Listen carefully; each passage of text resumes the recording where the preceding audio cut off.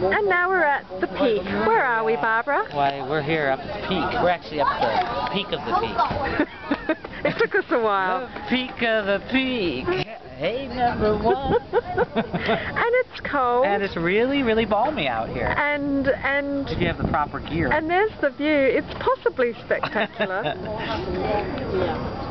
oh, we have to go up there and get those. It's really gloomy.